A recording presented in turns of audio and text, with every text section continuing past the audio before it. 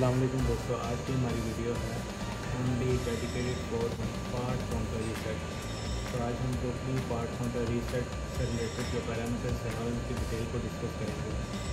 तो आइए आप वीडियो हम शुरू करते हैं।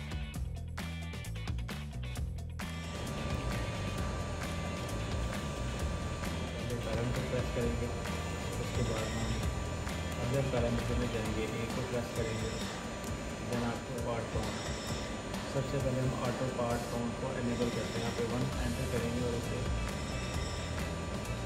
एंटर को प्रेस करेंगे तो हम ऑटो पार्ट काउंटर को हमने इनेबल कर दिया।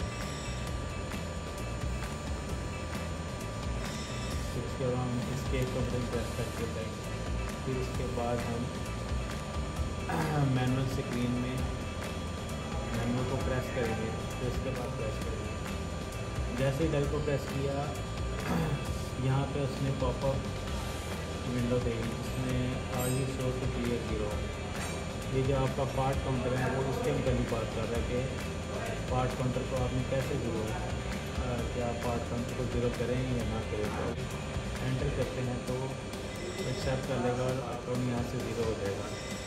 मैंने क्योंकि अभी इस कंट्रोलर पे प्रोडक्शन शुरू नहीं की, अभी इस पर ऑलरेडी ज़ीरो था तो इसलिए आपको आइडिया नहीं, हमारे आप अपने सिस्टम में भी इसे अप्लाई करेंगे। तो सबसे आपका ये पार्ट काउंट उसको ज़ीरो हो जाएगा। ठीक है? तो जैसी आज की हमारी वीडियो थी। तो thank you so much for watching और भी अगर नेक्स्ट इशू या कि और इसी तरह की आपकी कोई क्यूरीज हैं तो let me know in the comments तो मैं ज़रूर इंशाल्लाह इसके ऊपर नेक्स्ट टाइम वीडियो बनाऊँगा। Thank you so much अल्लाह हाफिज़